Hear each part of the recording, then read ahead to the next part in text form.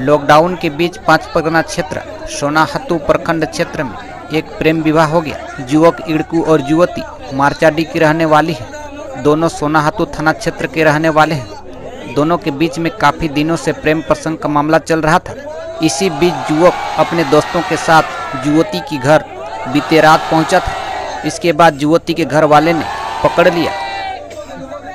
सुबह मामला सोनाहातू थाना पहुँच गई। ग्रामीणों के द्वारा प्रेमी और प्रेमिका को मारचाडी स्थित मंदिर में दोनों को शादी करवा दिया।